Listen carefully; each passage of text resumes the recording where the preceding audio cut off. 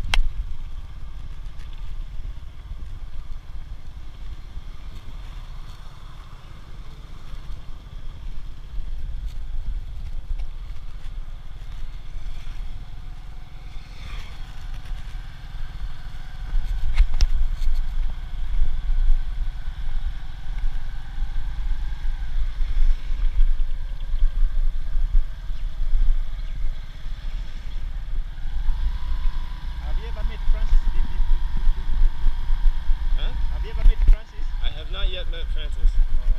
Is he around today? You just? I, I was communicating on Skype with him this morning. He said he might come by. Yeah.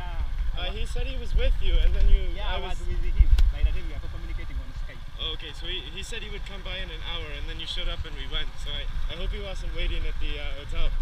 I think if he's there, you would have called me Okay, okay.